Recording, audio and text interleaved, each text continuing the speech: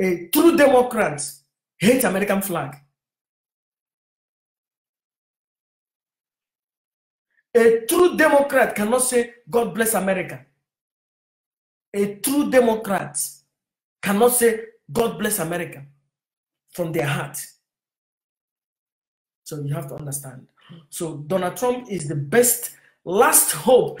Donald Trump is the God of this planet that is fighting against the wicked. If Donald Trump is being taken out, the liberal agenda will take over the planet.